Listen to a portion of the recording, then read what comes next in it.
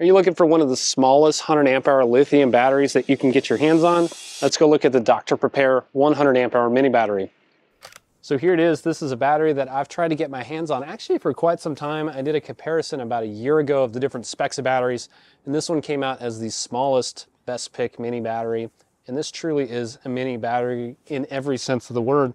Um, let's start with that. So the overall size of the battery, 10 inches wide, 5.2 inches deep, 7.8 inches tall. So it's very, very small, just over 400 cubic inches.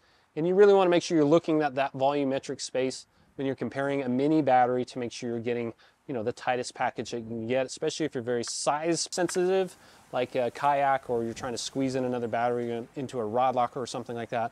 And if you want a really small battery, make sure you're looking at it because mini isn't really a standard of any type like a Group 24 or Group 31. Mini is just whatever they think is small or smaller than the other batteries they have.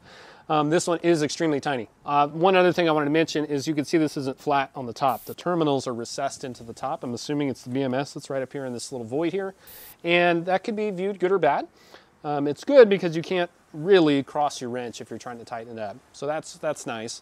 Uh, but if you're trying to put two of these in series and you've got some jumpers, you really only have this 90 degree angle to work in for your lugs and that could make some extended wiring versus just a short one that crosses over directly over the top of the battery.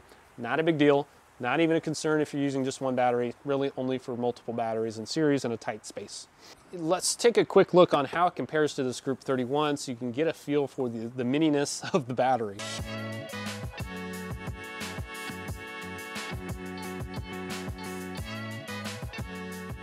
As you can see, that's, that thing is very tiny. Um, the other thing I wanna mention is the weight of the battery. On the site, it says 22 pounds. My scale says just under 21. So that puts it, uh, you know, just about two pounds lighter than a Group 24 100 amp hour lithium and well over 25 pounds lighter than like a lead acid battery. So you're, you're saving a whole bunch of weight, obviously going to lithium and doubling the capacity compared to a, a same size uh, lead acid. You know, the, the lithium iron phosphate chemistry is obviously here to stay, and it's a very cost effective way to put a bunch of capacity energy storage on your boat or your vessel, your RV, your solar setup, whatever it is. Lithium probably has a fix for you. Um, so it's got uh, excellent cycle life, thousands of cycles depending on the depth of discharge. You probably know that if you follow this channel for any length of time. We talk a lot about cycle life. Um, the weight, the energy density is fantastic. So of course, lithium batteries always come with a battery management system. They've got low voltage, high voltage, low temp, high temp protections. They've got uh, over current protection, which we'll talk about here in a second. And they've got some short circuiting protections as well. For a mini battery, this is also pretty unique because it has low temperature charge protection. If you're not aware, you definitely don't want to charge your lithium batteries when they're frozen. You can, uh, you can experience lithium, lithium plating which overall affects the lifetime and capacity of the battery forever. You can't get that back. So nice set of protection suite within the battery. And with that, let's go ahead and jump into the garage for some battery testing. Now we're going to do a little bit of bench testing with the battery. I've already done a full capacity test on it.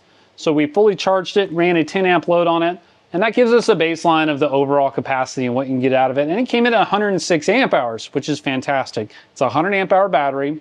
That's what you're paying for. You're getting 106 out of it.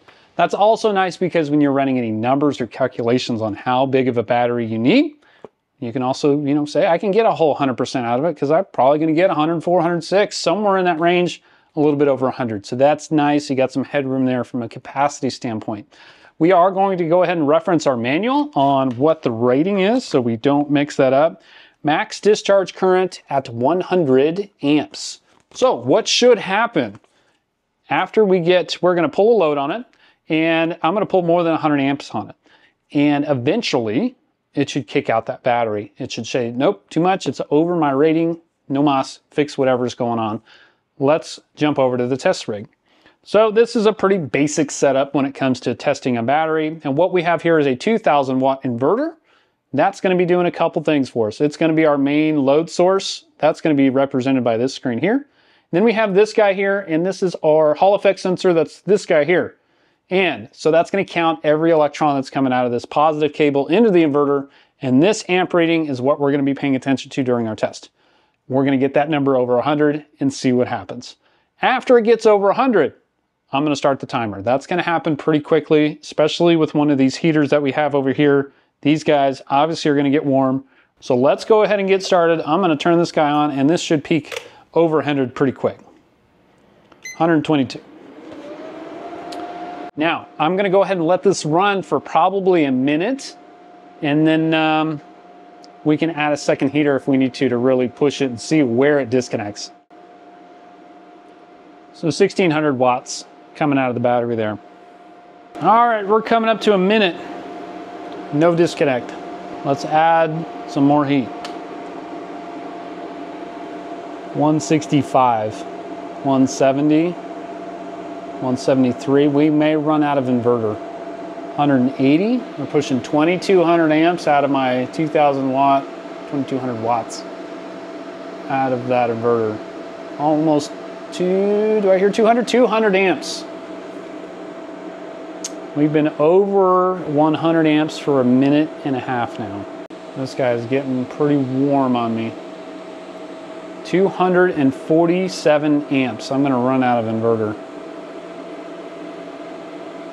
Okay, we're gonna stop it there. Let's go ahead and let it hit two minutes. We're back down to 162. 165. Yeah, we're getting pretty pretty crispy here.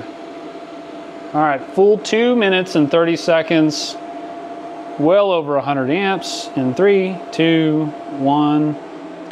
I'm gonna stop it right there. Well, not quite what I was hoping for. So like I said, the rating on it per the manual is 100 amps.